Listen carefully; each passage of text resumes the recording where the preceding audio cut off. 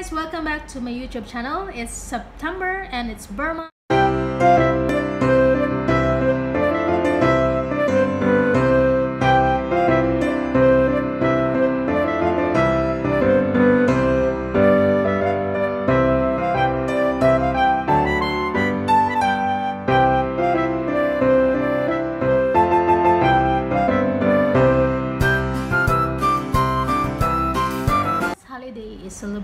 Worldwide. We Filipinos are known for its longest fun, amazing, indescribable, happiest, noisiest Christmas celebrations. We Filipinos, when it's Ber month, ding ding ding, we always get excited for the Christmas Yuletide season.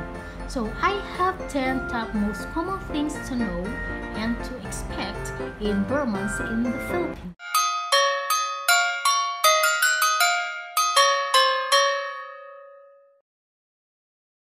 Christmas seasons in the Philippines starts in September.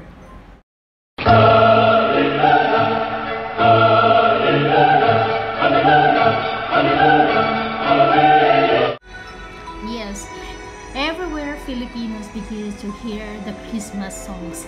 And of course, especially songs from Jose Mari Chan's. It is the most played songs of the entire year. And even in the malls, in the shops, in the schools, we are already hearing all the Christmas carols. So, you feel the spirit of Christmas?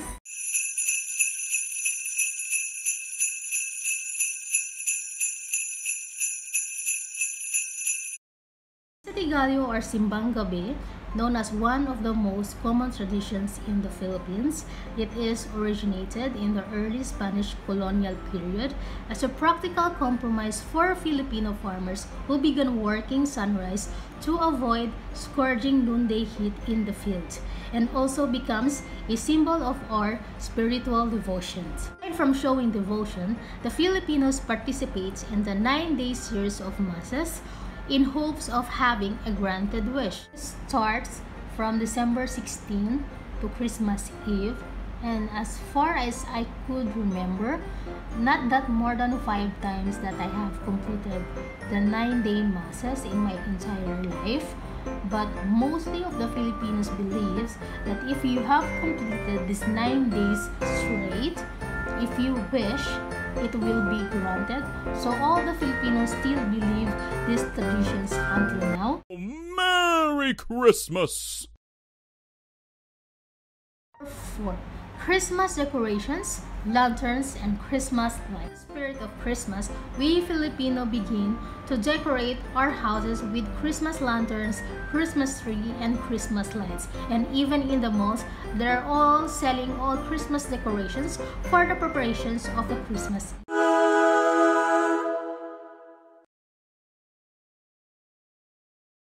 We joyfully celebrate Christmas with songs and praises. A group of kids or adults roam around the streets and visiting the houses.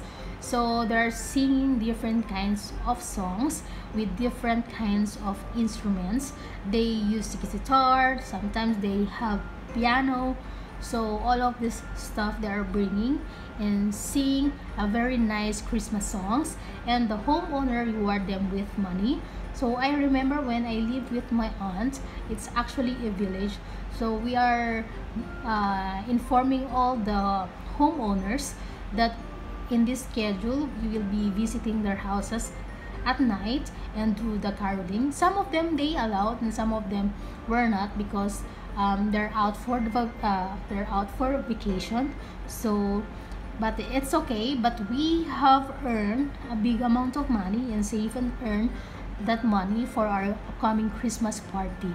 So it's uh, one of the memorable experience that i have when i was a kid is doing caroling. Since i love um, going out with friends and singing with them and um, you're meeting new people. So it's one of the most memorable memories memorable um, experiences that I love and I miss most in my entire life.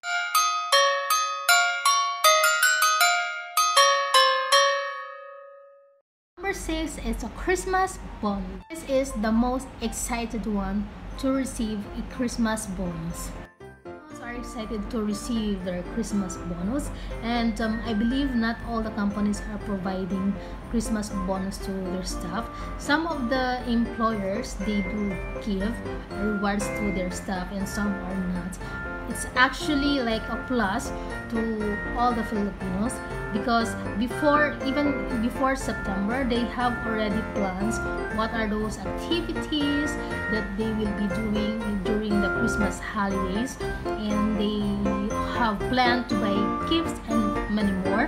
So it's a very helpful if the company gives them a Christmas bonus. So at least they could adjust they could adjust all the expenditures during the Christmas.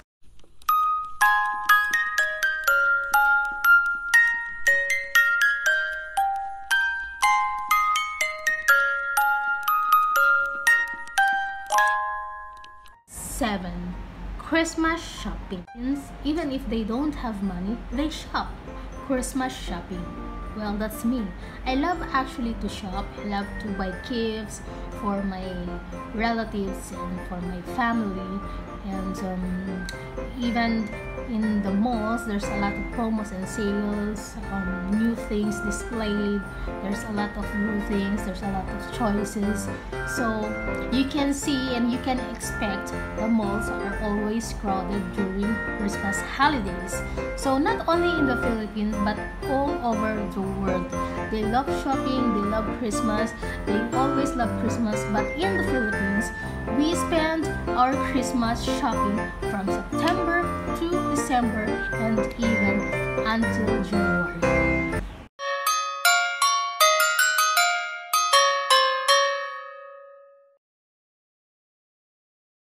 Number 8. We shop, we give gifts. No houses, no schools, or even office Christmas party is complete without exchanging gifts. In the Philippines, we call that monito and monita. It's actually adapta an adaptation of a Kris Kringle.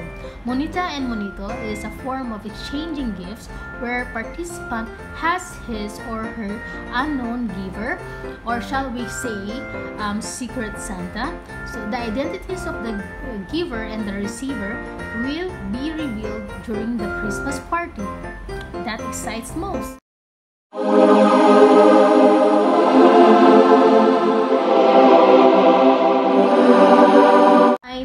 Noche Buena. Buena is the highlight of the Yuletide season. It's a grand family dinner or a grand family reunion dinner with feasts full of tasty Filipino foods like lechon, pancit, adobo, sweetened ham, lumpia, and a whole lot more. Noche Buena has been long a favorite family traditions in the Philippines.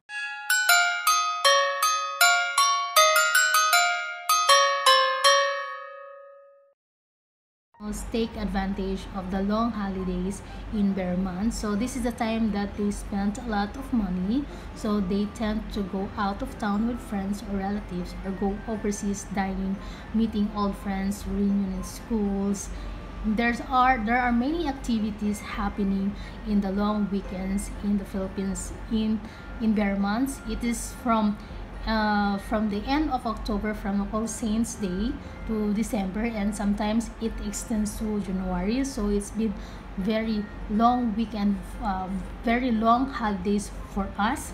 So it's very good that we can relax and um, um, make time of ourselves from the stress from work and from tiring boss so it's very nice and cool and really from the word from the words itself sweet life you will really feel the sweetness of life in other countries their yuletide season ends 25th of December or New Year's Eve, but in the Philippines, we ended our Christmas Yuletide season after Three Kings or the Feast of the Epiphany. After that time also, we begin to remove all the decorations, even in the churches, in the houses, in the malls and shops, and we completed our season in the month of